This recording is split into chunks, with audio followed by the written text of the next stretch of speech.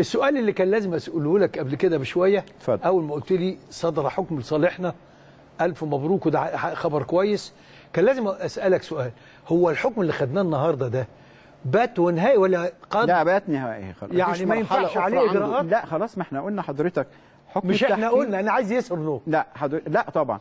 حكم التحكيم حضرتك لا يجوز الطعن عليه بأي طرق من طرق الطعن نص عليها القانون في جمهورية مصر العربية أو أي بلد. إلا بدعوى واحدة اسمها دعوى البطلان. يقدر يعمل كده دلوقتي؟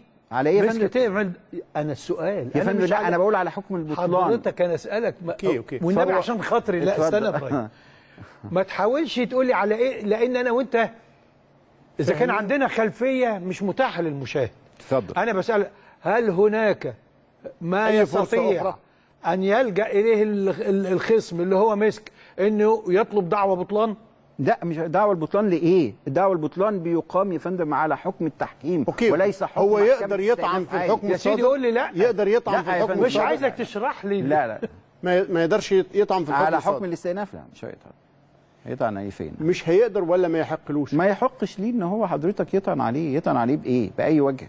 مش بأي وجه ما تسألنيش بسأل يا أستاذ. يا اتفضل عم يا أنا. ك...